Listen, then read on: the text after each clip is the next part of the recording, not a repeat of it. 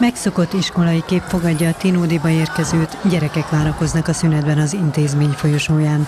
Nincs bezárva az iskola skarlát járvány miatt, mint ahogy azt télesen teljesztették, mondta Rázsi Botontal intézményvezető. A héten most már a harmadjára röppen föl a Tinódival kapcsolatban az a hír, hogy bezártunk, mert járvány tört ki az iskolában.